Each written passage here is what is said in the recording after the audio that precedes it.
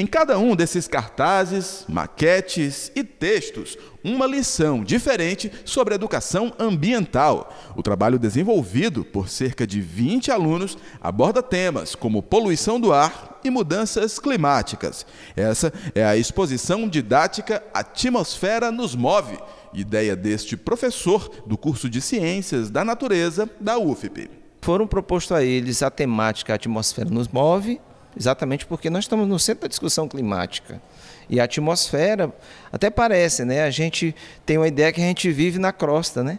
Mas a gente bota só os dois pés na crosta, às vezes se deita, né? Planta. Mas a maior parte do corpo da gente está na atmosfera, porque nós estamos na camada de gases que circula o planeta. Então, essa camada, inclusive, dentro do nosso corpo, pelos ouvidos, pelo nariz, pelos pulmões, por todo o trato digestivo. Então, nós, pela difusão dos gases nos tecidos, então nós somos a atmosfera. E ela nos movimenta, ela causa pressão, ela faz o vento, ela move massas de ar.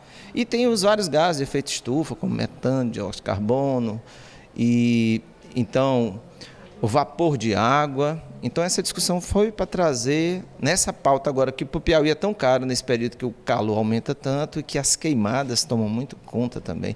E um pouco também da saúde humana, tem um pouco do tabagismo. Este estudante trouxe uma das temáticas mais atuais e importantes quando o assunto é meio ambiente: as mudanças climáticas. As queimadas, desmatamento, lixo, poluição, tudo isso causam consequências como o aquecimento global, a, o efeito estufa. E a gente sempre tem que pensar de um modo consciente, né, de um modo sustentável, para que a gente possa mitigar essas causas, esses efeitos. Principalmente educação ambiental, é, pensamento sustentável também, redução dos gases do efeito estufa e por aí vai.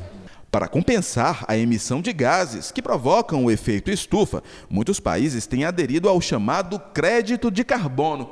O Derek e a Giovana abordaram de forma bem didática este tema na exposição. O crédito de carbono, de uma forma mais simplificada de falar, é sobre um bônus que o governo dá para as empresas em troca de gastar menos carbono. É, sabemos que as empresas soltam muito carbono, é, outros gases que poluem o meio ambiente. Então, é, serve uma forma de literalmente um bônus, gastar menos, ó, vocês dão a gente vai lhe dar esse crédito, você vai gastar menos e vocês vão produzir um pouquinho mais com um bônus a mais de dinheiro. Nós estudamos sobre o carbono, sobre como ele está na natureza, como ele é produzido na natureza, como é, onde a origem dele, né, é, na natureza e também é, sobre como ele interage com as empresas e também com o meio ambiente.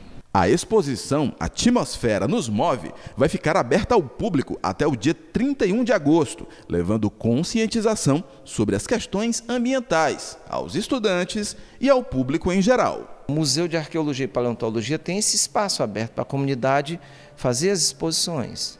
E essa temática trouxe o aluno para fora da sala de aula, leva esse aluno para a comunidade, porque acaba trazendo a comunidade para dentro da universidade. São várias escolas que estão previstas para vir visitar durante o período da exposição, vai até o dia 31 de agosto.